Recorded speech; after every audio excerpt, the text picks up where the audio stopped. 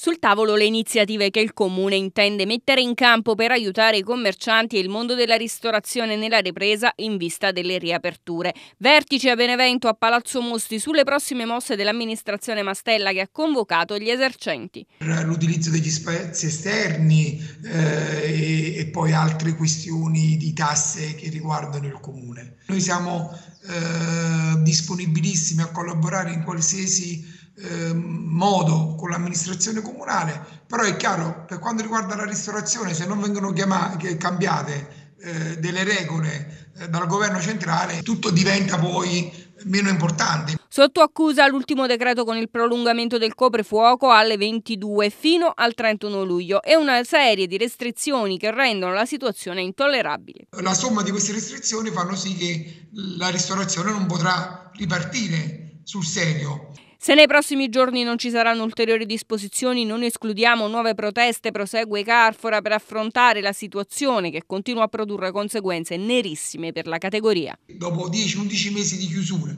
pensiamo un attimo a tutti i locali, vinerie, pub, che prospettive hanno di lavorare per il periodo estivo? Io penso zero. Quindi questo dopo tanti mesi di restrizione e con le elemosine dei ristori porta veramente a una depressione, a uno eh, non avere più la forza di reagire. L'altra conseguenza è la chiusura definitiva di molte attività.